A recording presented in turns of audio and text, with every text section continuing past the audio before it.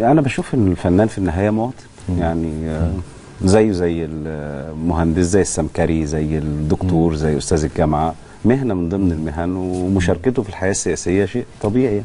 طب أنت مخرج ناجح يعني وعليك طلب كتير جدا يعني. عندك ولازم أبقى عاطل يعني. يعني لا مش قصدي يعني. يعني عادة يوم ممكن يبقى فيه يعني فنان بيشتغل مرة في السنة يبقى ما عندوش طلب ما فيش طلب عليه جامد يعني. يبقى ليه يعني آه، ما انت كده حضرتك اكنك بتحصر ال- الناس اللي عايزة تترشح ان هم ما عندهمش شغل. لا مش قصدي. آه، أو يعني ان هم مش ناجحين. أنا بتصور انه لا يعني آه القضية مش قضية انت لاقي شغل ولا مش لاقي شغل. أيوة. القضية قضية ايمانك انت بقضية بتدافع عنها بكل ما اوتيت من قوة. من سنين طويلة جدا من شبابي وأنا صغير في الجامعة حتى هذه اللحظة بناضل من نفس من أجل نفس الأهداف.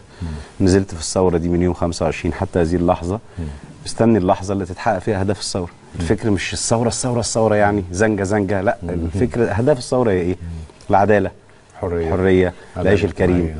الحاجات اللي هي احتياجات الشعب المصري اللي عبر عنها بجلاء.